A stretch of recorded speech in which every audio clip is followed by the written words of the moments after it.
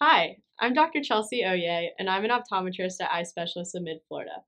I was born and raised in Tampa, Florida, and I got my undergraduate degree at Christian Brothers University in Memphis, Tennessee, where I played collegiate soccer. I went to optometry school at Nova Southeastern University in Fort Lauderdale, and I now live back in Tampa with my husband Michael and our two boxer puppies, Olive and Otis. Outside of the clinic, I enjoy spending time with my family, working out, and reading.